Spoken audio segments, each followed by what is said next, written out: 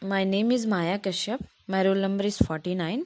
Today we are going to study about what are the drugs used in the treatment of rheumatoid arthritis. First of all, what is rheumatoid arthritis?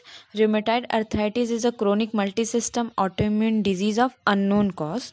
Although there are variety of systemic manifestation and the main characteristic feature is a persistent inflammatory synovitis of peripheral smaller joints. In the course of disease is prolonged with exacerbations and remissions. Pain and swelling of the joints are mainly due to prostaglandins, whereas cytokines are responsible for progressive damage to the joint leading to deformity. Now come to drug used in the treatment. Uh, there are mainly three class. Uh, first is disease modifying anti-rheumatic drug, second non-steroidal anti-inflammatory drug, and third is glucocorticoid now come to first uh, which is uh, disease modifying uh, anti-rheumatic drugs. Includes non-biologics and biologics. Non-biologics are methotrexate cyclosporin chloroquine and cyclophosphamide.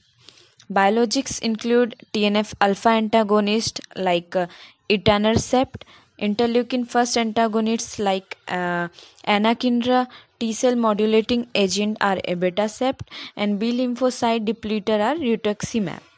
Now come to second which is non-steroidal anti-inflammatory drugs are aspirin, ibuprofen, diclofenac etc. And third is glucocorticoid which include triamcinolone. Thank you.